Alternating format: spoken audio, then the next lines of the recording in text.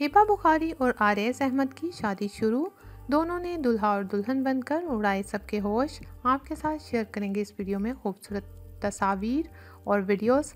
लेकिन उससे पहले आपसे रिक्वेस्ट है कि हमारे चैनल को सब्सक्राइब कर दें और बेल आइकन को प्रेस कर दें ताकि शोबिस से आने वाली हर नई अपडेट बर वक्त आप तक पहुँच सके। हिबा बुखारी पाकिस्तानी टेलीविज़न इंडस्ट्री की बहुत ही खूबसूरत और टैलेंटेड अदाकारा हैं।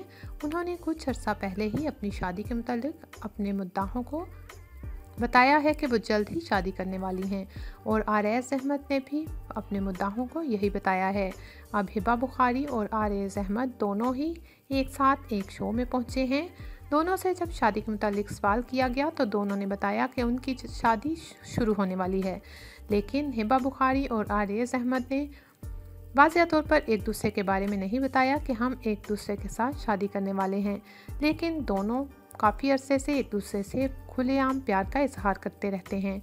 यही वजह है कि सभी लोग जानते हैं कि हिब्बा बुखारी और आर एस अहमद शादी करने वाले हैं। लेकिन अब उन्होंने लाइव शो के दौरान एक सवाल के जवाब में खुद ही बता दिया कि वो जल्द ही शादी करने वाले हैं।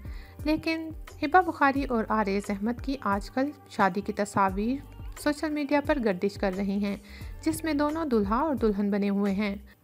इन तस्वीर को देखकर मुद्दा समझे कि शायद दोनों ने शादी कर ली है।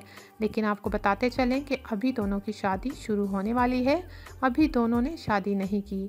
लेकिन शूट की इन तस्वीर को मुद्दाहों ने बहुत पसंद किया और दोनों को दुल्हा दुल्हन की इस खूबसूरत लुक में भी एज आ कपल बहुत सराहा और दोनों को दुआएँ देने लगे। मुद्दा हिब्बा बुखारी और आरज अहमद की शादी के लिए बहुत ज़्यादा एक्साइटेड हैं और बहुत ही ज़्यादा शिद्दत से मुंतजर हैं कि कब दोनों की शादी शुरू होगी। तो हम आपको बताते चलें कि दोनों की शादी जल्द ही शुरू होने वाली है। वीडियो को लाइक और शेयर करना मत भूलिएगा और साथ ही साथ हमें कमेंट सेक्शन में ये भी बताइएगा कि आपको हिबा बुखारी और आरएस अहमद का कपल कैसा लगता है और क्या आप भी जानना चाहते हैं कि दोनों अपनी शादी पर एज अ कपल और ब्राइड और ग्रूम बनकर कैसे लगेंगे? कमेंट सेक्शन में अपनी कीमती राय का इजहार ज़रूर कीजिएगा। अल्लाह हाफिज़।